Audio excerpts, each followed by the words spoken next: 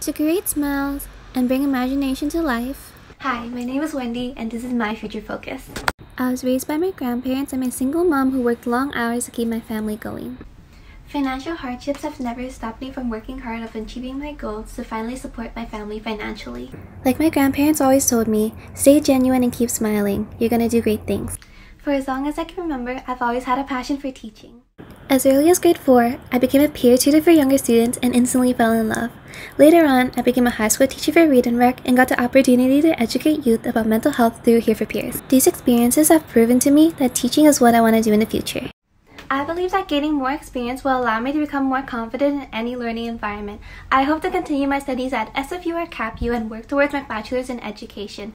I can't wait to see what the future holds for me, but until then, I'll stay genuine and keep smiling because I know I'll do great things.